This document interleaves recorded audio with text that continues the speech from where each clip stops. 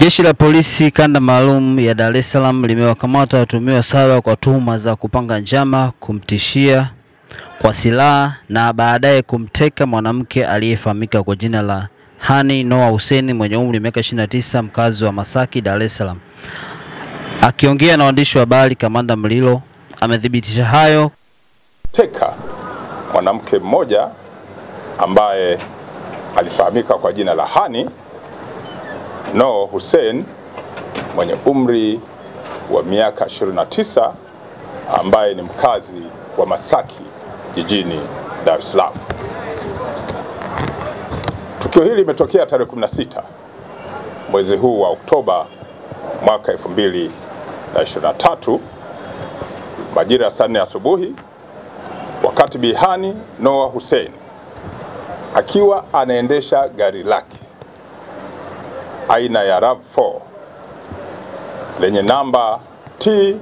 333 CNH. Ghafla akiwa eneo la Msasani Village, lilitokea kundi la watu ambao walisimamisha gari yake, baadaye wakaingia kwenye gari hilo kwa nguvu, wakamtishia kwa silaha na kumteka na kumpeleka mpaka eneo ambalo walimshikilia kwa nguvu kwa zaidi ya siku nne, huku wakidai kwa vitisho pesa kiasi cha dola milioni tatu na nusu kwa baba yake ndiyo waweze kumwachia, la sivyo wangepoteza maisha yake. Jeshi la polisi mara ya baada ya kupata taarifa ya tukio hiyo tukio hilo lilifanya kazi ya ziada ya ufuatiliaji, lakini zaidi ufuatiliaji wa kisayansi, na ilipofika tarehe 19 mwezi huu Oktoba wa mwaka 2023 jeshi la polisi kanda maalum ya Dar es Salaam lilifanikiwa kumwokoa mhanga huyo na kufanikiwa kuwakamata mmoja baada ya mwingine watekaji hao, huku wakiwa na gari walilomteka nalo, lakini pia wakiwa na silaha Glock 19 yenye namba LZB 604 iliyotengenezwa nchini Austria, huku ikiwa na risasi nne.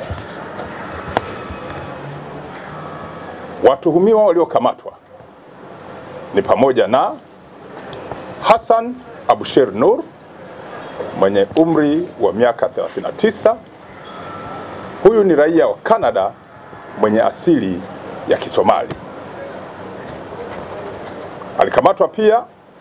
mtuhumiwa mwingine aliyefahamika kwa jina la Nathan Lungumisa mwenye miaka 27, lakini mtuhumiwa mwingine Frederick Chakunza Chahunza mwenye miaka 49 alikamatwa. Asad Abrasul alikamatwa. Fahadi Musa pamoja na Alfan Salehe ambaye pia alikuwa na mtuhumiwa mwingine wa saba aliyejulikana kwa jina la Noah Nilai. Jeshi la polisi tangu lifanye ufuatiliaji huo kwa tarehe nilizozitaja, limekamilisha upelelezi wake muhimu na mpaka tarehe ya leo, kwa maana ya tarehe 30 Oktoba mwaka 2023 watuhumiwa wote niliowataja watafikishwa mahakamani kujibu tuhuma za kula njama, kumtishia kwa silaha, kumteka na kuanza kutaka pesa kwa nguvu na vitisho kutoka kwa wazazi akiwemo baba wa mtoto wa kike aliyetekwa. Jeshi la Polisi Kanda Maalum ya Dar es Salaam linaendelea kutoa onyo kwa wahalifu. Narudia, Jeshi la Polisi Kanda Maalum ya Dar es Salaam linaendelea kutoa onyo kwa wahalifu, awe ni mmoja au kundi ambao wanapanga njama za kufanya vitendo vyovyote vya ovyo